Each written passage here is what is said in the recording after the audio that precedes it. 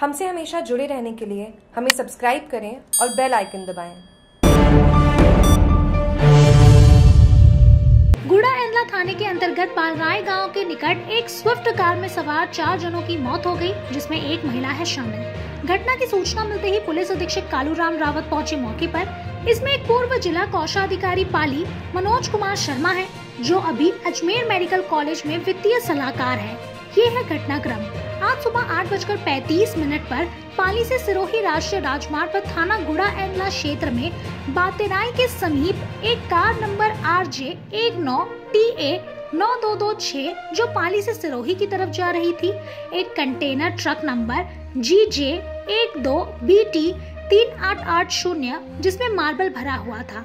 U turn से आकर car को ओवरटेक करते हुए कार के ऊपर गिर जाने से कार में सवार चार लोगों की मौके पर ही मृत्यु हो गई, जिनके नाम पता मनोज शर्मा निवासी जालौर, अश्विनी कुमार दवे निवासी विश्वकर्मा नगर, सर्वोदय स्कूल के पास बदवासिया जोधपुर, बुद्धाराम पुत्र तुलसीराम जाति प्रजापत निवासी प्लॉट नंबर 633 विस्तार कमला नेहरू नगर, देवी रोड, जोधपुर। श्रीमती रश्मि देवी, पत्नी अश्विनी कुमार दवे निवासी जोधपुर, उक्त चारों के नीचे दबने से मृत्यु हो गई है। हाईवे से वाहनों को हटाया गया, शवों को गुंदोज अस्पताल मोर्चरी में रखवाया गया है।